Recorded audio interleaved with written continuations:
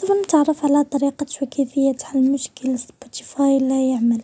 نقوم بالضغط هنا على ضبط الإعدادات، بعدها سوف نقوم بالضغط هنا على التطبيقات، ثم سوف نقوم بالنزول إلى الأسفل والضغط هنا على تطبيق سبوتيفاي، بعدها سوف نقوم بالضغط هنا على إيقاف الإجباري،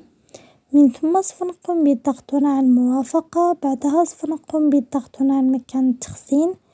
ثم سوف نقوم هنا على مسح تخزين مؤقت، بعدها سوف نقوم بإيقاف إعادة تشغيل واي فاي خاص بكم، ثم سوف نقوم بالذهاب إلى متجر جوجل، هنا سوف نقوم بالبحث عن تطبيق سبوتيفاي سوف يظهر لنا على هذا الشكل، وعندما تجدون هنا تحديد قم بضغط عليه وسيتم تحديد تطبيقكم سبوتيفاي، وبهذه الطريقة نكون قد قمنا بحل المشكلة،